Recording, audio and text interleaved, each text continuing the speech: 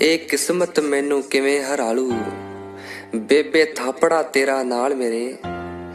ਗਾਲਾਂ ਦੇ ਵਿੱਚ ਦਵੇਂ ਦੁਆਵਾਂ, ਬੋਲ ਬੜੇ ਕਮਾਲ ਤੇਰੇ।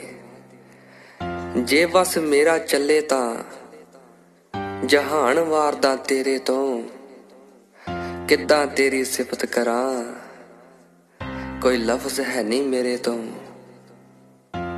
ਮਾਂ ਸ਼ਬਦ ਜਦ ਮੂੰਹ ਤੋਂ ਬੋਲਾਂ ਠੰਡ ਸੀਨੇ ਵਿੱਚ ਪੈ ਜਾਂਦੀ।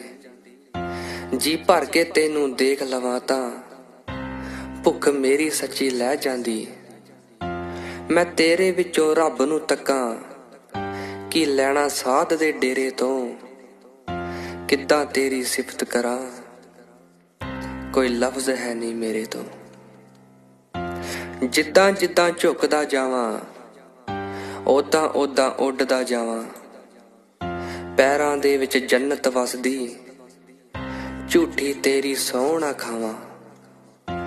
ਕਰਜ਼ ਤੇਰਾ ਦੇਣੀ ਹੋਣਾ। ਪਸਵਾਲਾਂ ਵਾਲੇ ਸ਼ੇਰੇ ਤੋਂ ਮਾਂ ਕਿੱਦਾਂ ਤੇਰੀ ਸਿਫਤ ਕਰਾਂ?